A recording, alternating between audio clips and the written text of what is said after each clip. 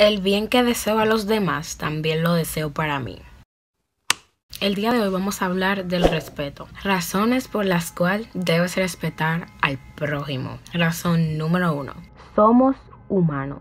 Cometimos y seguiremos cometiendo errores como cualquier otra persona, porque así aprendemos. Hoy en día las personas se han dado la tarea de difamar e insultar a las personas o los famosos en las redes sociales. Y en verdad los errores de los famosos y los de nosotros, las personas comunes, no son diferentes porque ellos también son personas comunes y corrientes como nosotros. Y también tienen sentimientos. No son muñeco de algodón y porcelana. Razón número dos. No ofendas. Existen personas que desean el mal a los demás, pero es mejor desear el bien y el progreso a los demás, porque lo que das es lo que tú recibes. Y quién quita que en un futuro tú te vayas a encontrar con esa persona y vayas a necesitar de esa persona, porque el mundo da muchas vueltas. Razón número 3. Respétate a ti mismo. El respeto a ti mismo consiste en hablar, vestir, y vivir con respeto, respetándote y con dignidad. Respetándote a ti mismo atraerás buen trato, estima y consideración por parte de los demás. Trátate a ti mismo con respeto y fórjate actitudes de valor, autoestima y consideración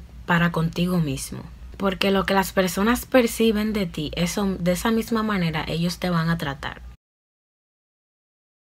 Y el día de hoy te dejo con esta frase. Aquello mismo que sembrares, de eso mismo cosecharás y con abundancia.